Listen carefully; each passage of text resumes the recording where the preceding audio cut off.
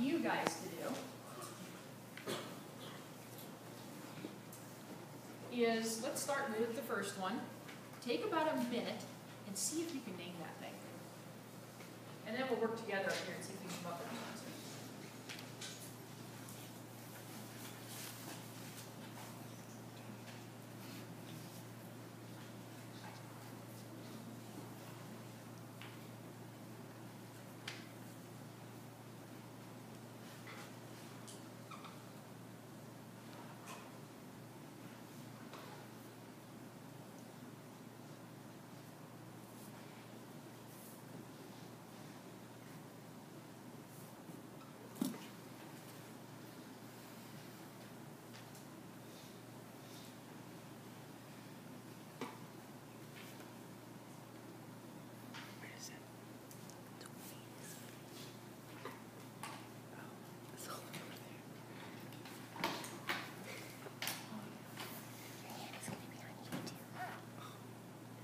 I'm so proud.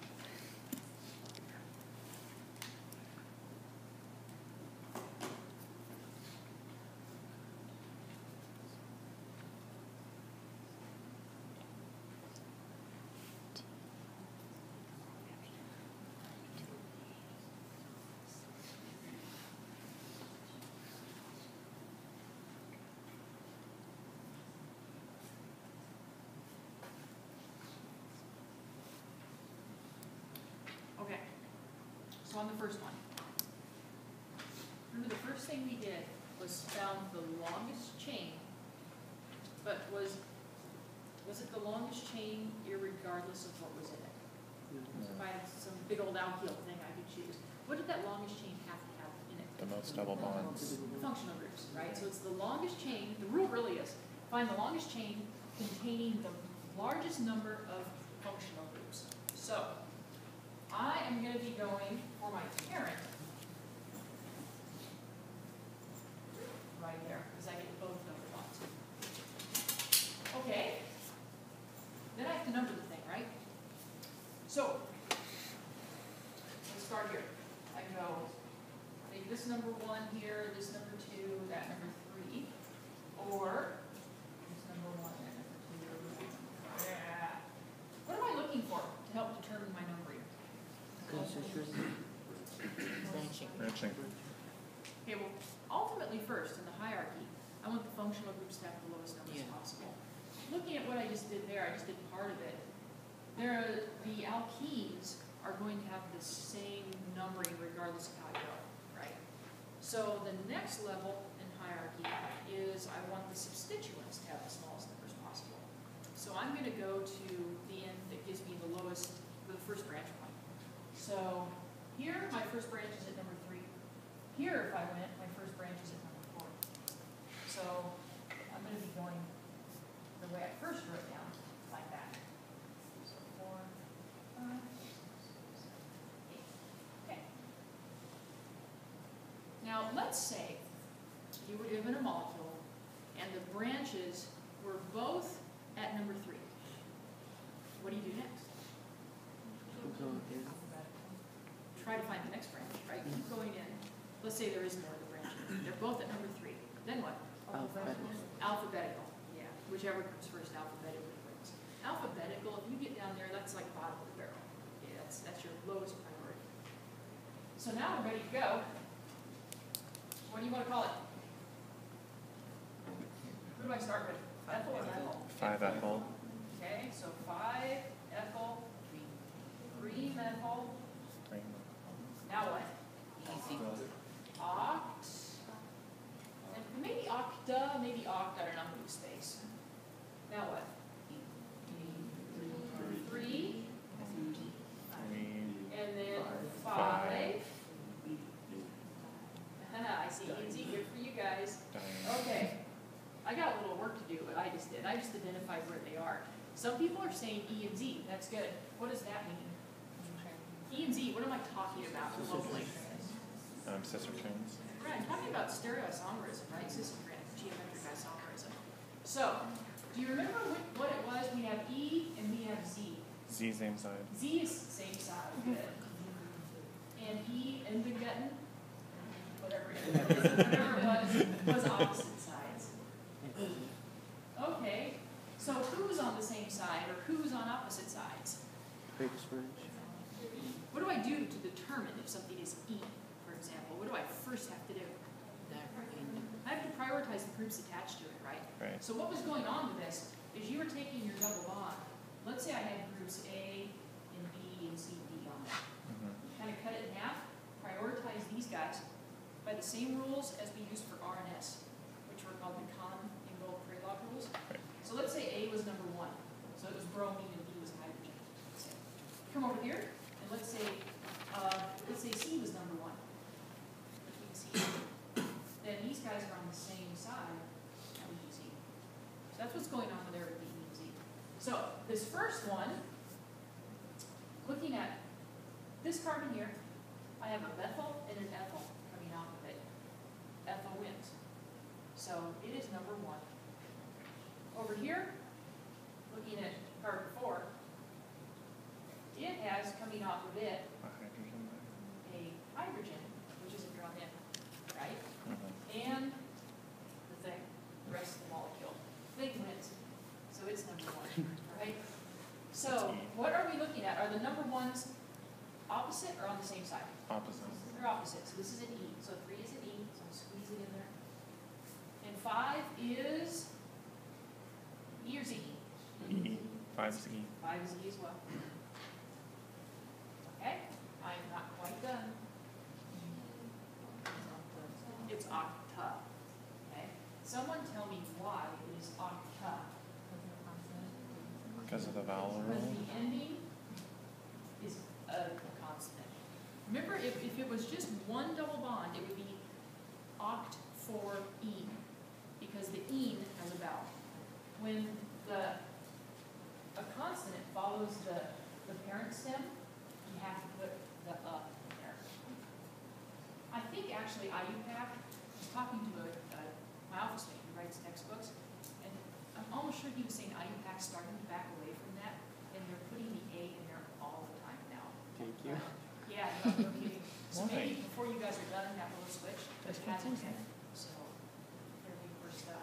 It's goofy, but there it is. All right. Try your hand at the second one, see if you can do it in one minute.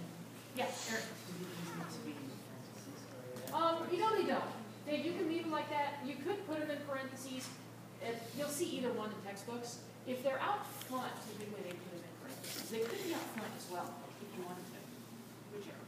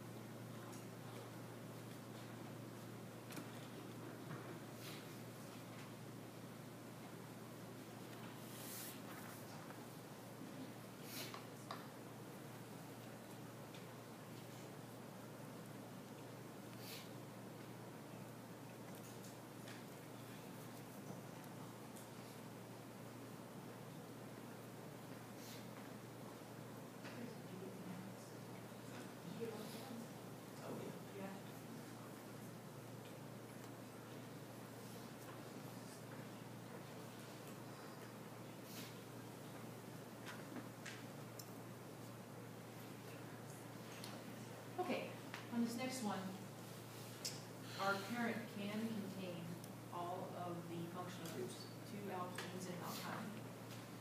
We have to number it. The numbering of these guys is a little bit weird. What do we look for first? Or the first uh, multiple one. Yeah, first multiple bond, exactly. So I come in, one, two,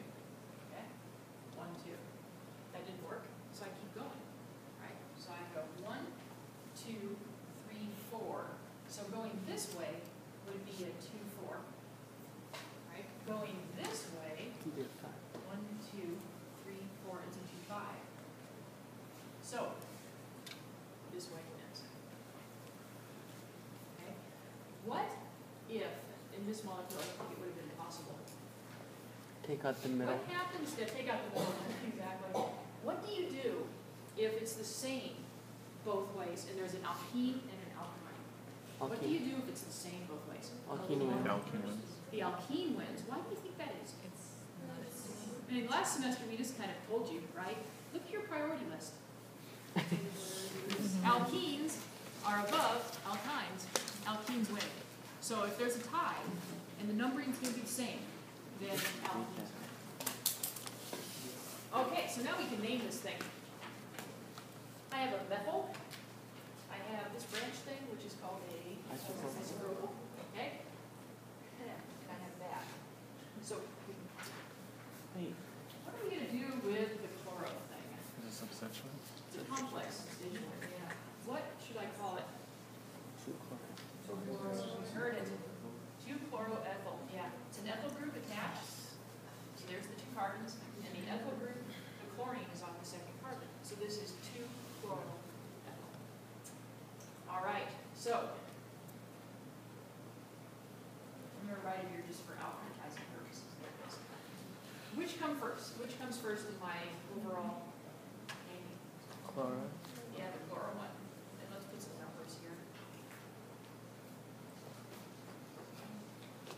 Okay, and no one has something there. So the chloro comes first, and it is at number five.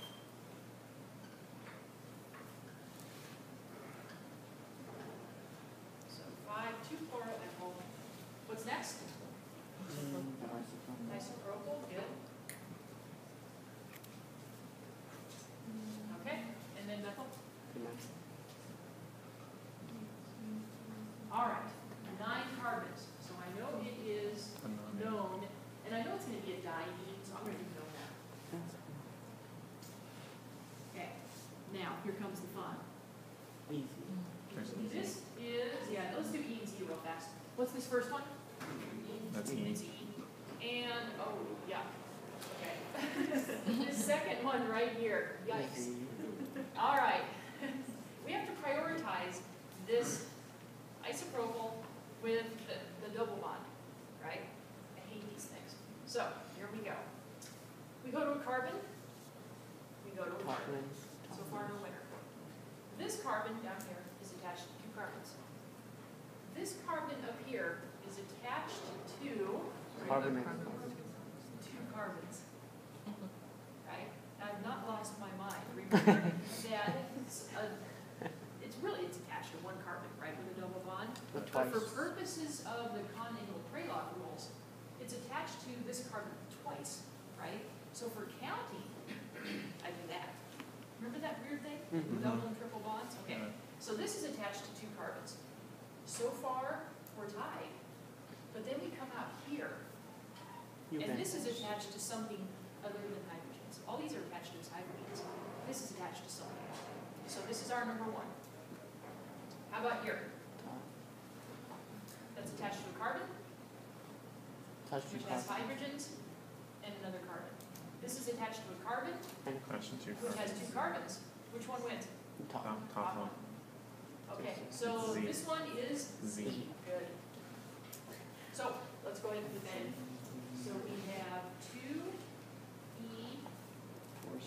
uh, four Z diene, Seven nine. and then Seven nine. seven I. Oh my god, I can do it. What did I do there? Hmm? I dropped the E, and why did I do that? Because the Y is considered a vowel. Because Y is, for OChem, is a vowel.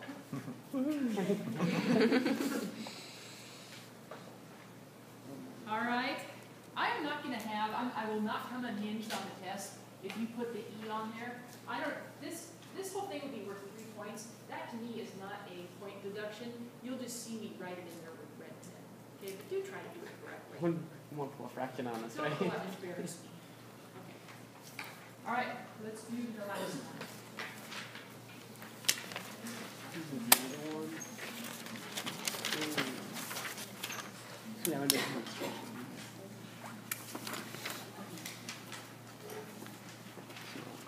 Yeah. Just do the same thing.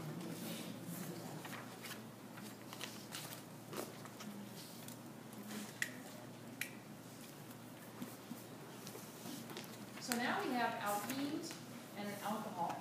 You have got a fundamental question to ask yourself, and that would be, what is this molecule? Who is the parent?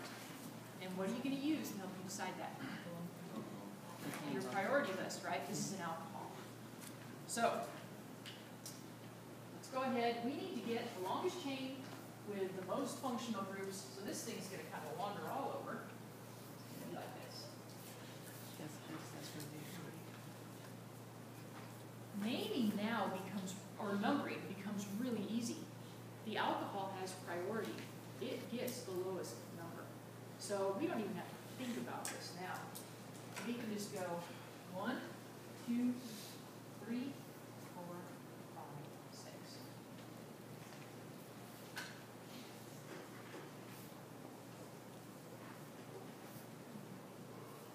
Okay, try to name it, see what you come up with.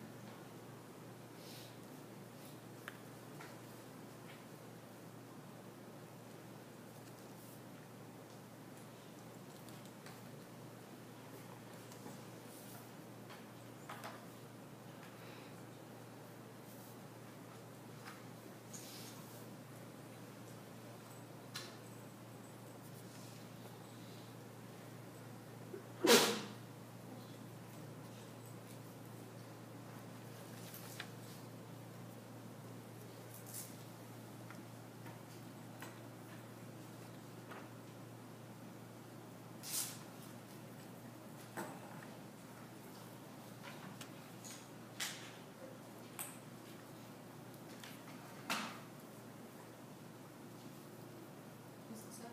Yeah, You still didn't want to do the, uh, yours, the in brackets on the bottom, right? that'd be fine. You can put E or Z out front, or by the numbers, just not both places. Yeah, previous one, uh-huh, on the two chloroethyl, Right. there was a Didn't methyl that on the connecting carbon, uh-huh. where would you start numbering that? Would it be So there was, um, so if there was a methyl right here, for example, right there, I'd have a couple choices with that. I could say, um, two chloro, one methyl ethyl. That makes sense?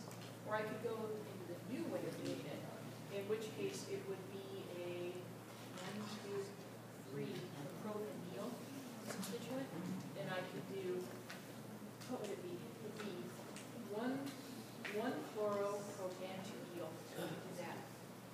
Otherwise it'd be one methyl two chloro. I like the first one. All right, let's do this.